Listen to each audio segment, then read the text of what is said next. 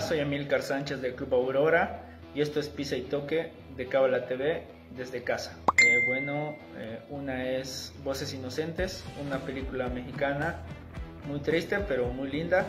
Otra, mm, Yo antes de ti, que viene muy bien para todos los enamorados. Y la tercera, Milagro en la celda 7, que ha sido una de las mejores películas que vi en este tiempo. La Casa de Papel no puede faltar. Eh, después Élite, que viene muy bien para todos los adolescentes. Y para todos los futboleros, los supercampeones. Eh, bueno, creo que a mí me gusta mucho eh, el libro Ganar con la cabeza. Creo que es un libro que te prepara para, para todo lo que pueda venir. me ha ayudado mucho, más que todo en mi ámbito, en el futbolístico y es muy, muy recomendable.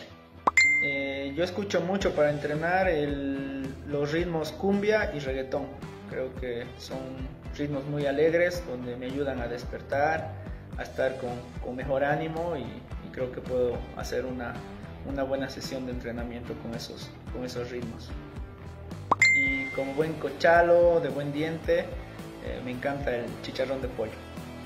Bueno, es una mezcla de salsa soya, con maicena, mostaza, pimienta, eh, sal a, gusto, hay que mezclar bien, después poner el pollo, hacerlo reposar una media hora y después directo a la cocina.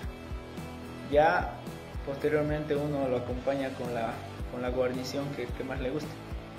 Y bueno, es una semifinal de un sub-20, una pre-libertadores con el Club Bolívar que jugamos acá en Cocha. Yo jugaba en Bilster.